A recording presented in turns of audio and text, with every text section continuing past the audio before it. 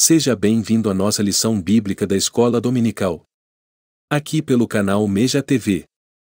Esta é a lição 9. O tema é o seguinte: A Igreja e o sustento missionário. Texto áureo. O meu Deus, segundo as suas riquezas, suprirá todas as vossas necessidades em glória, por Cristo Jesus.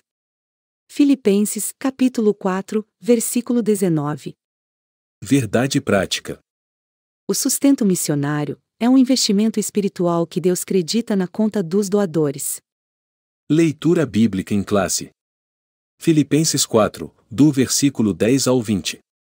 Eu passo a ler. Ora, muito me regozijei no Senhor, por finalmente reviver a vossa lembrança de mim, pois já vos tinhas lembrado, mas não tinhas tido oportunidade. Não digo isto como por necessidade, porque já aprendi a contentar-me com o que tenho. Sei estar abatido e sei também ter abundância, em toda maneira, e em todas as coisas, estou instruído, tanto a ter fartura como a ter fome, tanto a ter abundância como a padecer necessidade. Posso todas as coisas naquele que me fortalece. Todavia, fizestes bem em tomar parte na minha aflição.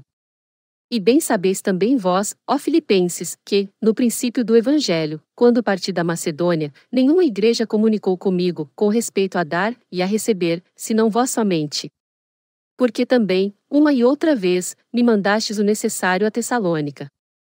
Não que procure dádivas, mas procuro o fruto que aumente a vossa conta. Mas bastante tenho recebido, e tenho abundância, cheio estou, depois que recebi de Epafrodito, o que da vossa parte me foi enviado, como cheiro de suavidade, e sacrifício agradável, e aprazível a Deus. O meu Deus, segundo as suas riquezas, suprirá todas as vossas necessidades em glória, por Cristo Jesus. Ora, a nosso Deus, e Pai seja dada glória para todos sempre. Amém. Introdução. O propósito desta lição é estudar, de maneira bem específica, a respeito do sustento financeiro da obra missionária, no cenário atual. Iniciaremos o nosso estudo a partir da porção bíblica de Filipenses 4, do versículo 10 ao 20. Em seguida, destacaremos alguns princípios básicos, à luz de Filipenses. Finalmente, faremos uma comparação entre o entendimento da Igreja de Corinto e o da Igreja de Filipos a respeito da consciência do sustento missionário, enfatizando a importância de reconhecer o sustento financeiro da obra missionária como um dever dos membros da Igreja local. Que tenhamos o perfeito entendimento de que investir financeiramente na obra missionária é ajuntar tesouros na eternidade. Ponto 1. A Igreja de Filipos e o sustento missionário. Sub.1 Paulo e a Igreja de Filipos. O texto de nossa leitura bíblica em classe mostra que o apóstolo Paulo aceitou a oferta dos crentes da Igreja de Filipos, que foi entregue voluntariamente ao apóstolo, de modo que serviu para o seu sustento. De fato, o apóstolo era um missionário que vivia por fé. No trecho de Filipenses 4, do versículo 10 ao 20, vemos um obreiro que havia experimentado a abundância e a escassez na vida. Quando estava a serviço do Sinédrio, ele tinha uma vida mais abastada. Quando, porém, passou a ser um seguidor de Jesus, sua vida financeira não foi mais a mesma. Sub.2 2.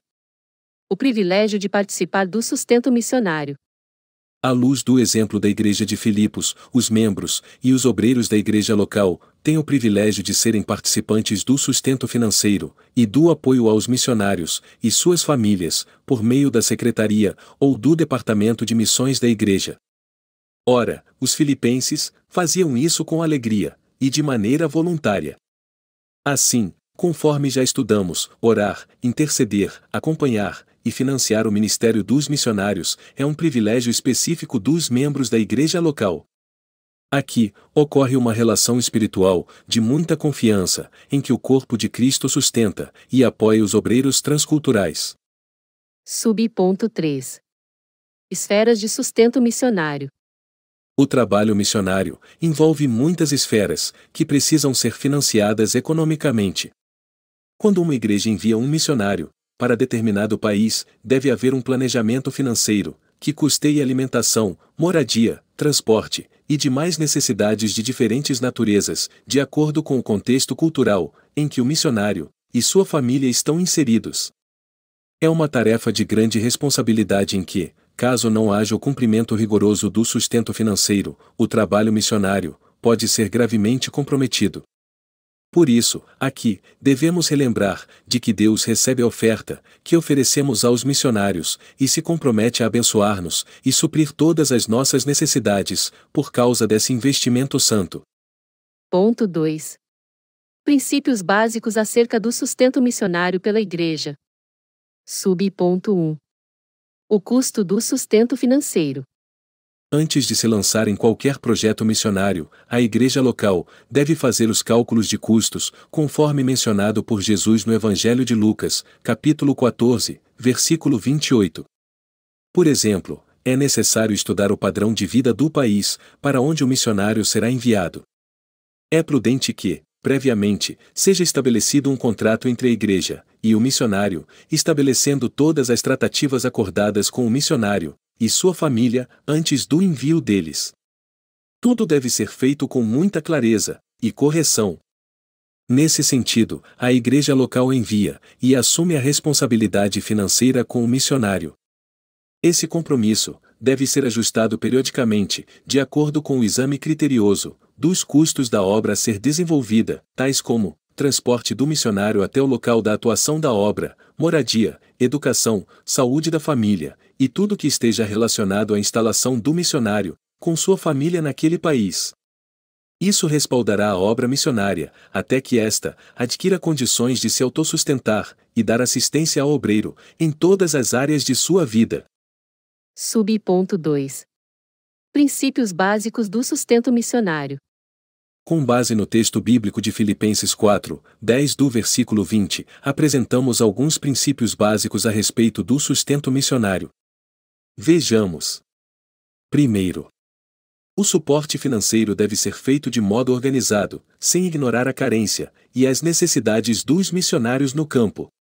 Segundo, o sustento deve ser coletado nas igrejas e entregue regularmente aos missionários de um modo eficiente e responsável, Terceiro. O sustento de missões é uma resposta voluntária dos fiéis, que em gratidão a Deus pela salvação, apoiam a proclamação do Evangelho, e por isso, doam voluntariamente ofertas, para sustentar os missionários enviados. Quarto. O sustento deve ser mais do que o básico, deve ser amplo, de acordo com a natureza daquele trabalho missionário. Em quinto lugar, o sustento de missões deve ser feito de um modo constante e permanente. Subponto 3. Um apoio fiel e permanente. O apóstolo Paulo elogiou os filipenses pelo apoio fiel e permanente ao seu ministério. Nesse sentido, as necessidades dos missionários não podem ser ignoradas, por causa da falta de um planejamento bem feito. O fato é que, os missionários dependem da fidelidade dos fiéis, em quem eles confiam para perseverar no apoio, oração e doação. Nesse aspecto, o desafio da igreja local não é somente enviar, mas também manter o sustento missionário, não abandonando o obreiro e sua família, no campo de trabalho. Ponto 3. Aprendendo a investir na obra missionária. Sub. Ponto 1. Igreja de Filipos versus a Igreja de Corinto. Ao contrário da igreja de Corinto, a igreja de Filipos era um exemplo de generosidade missionária, pois, como vimos, ela enviava oferta para o sustento do apóstolo Paulo.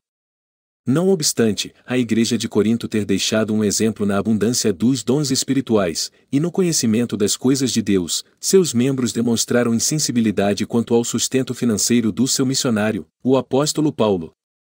Infelizmente, por não ser generosa, a igreja de Corinto precisou da intervenção de outras igrejas para que o apóstolo pudesse exercer suas atividades. Portanto, precisamos compreender de forma plena a importância da contribuição financeira em favor da obra missionária. Subponto 2. Tendo consciência de nosso dever. Contudo, o apóstolo Paulo ensinou à igreja de Corinto que contribuir para a obra missionária é um investimento espiritual que Deus acredita na conta dos doadores. Hoje, não é diferente, pois a oferta que oferecemos, para o sustento missionário, o Senhor a recebe com alegria.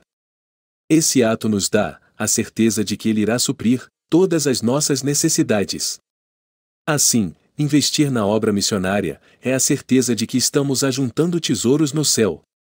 Subponto 3. Pessoas financiando a obra divina. Em Lucas 8, do versículo 1 ao 3, um grupo de mulheres acompanhavam Nosso Senhor e o serviam com seus bens, ou seja, sustentava financeiramente o ministério de Jesus e seus discípulos. Assim, a responsabilidade do financiamento, para a expansão da mensagem do Reino de Deus, é algo que podemos rastrear antes mesmo da origem histórica da Igreja. Isso nos revela que, apesar da impossibilidade de a maioria dos cristãos fazer missões transcultural diretamente no campo, ela pode sustentar o ministério de um missionário e, a partir dessa resolução, garantir a execução da obra Missões Transculturais. Portanto, atentemos para as palavras de Hudson Taylor, missionário inglês na China.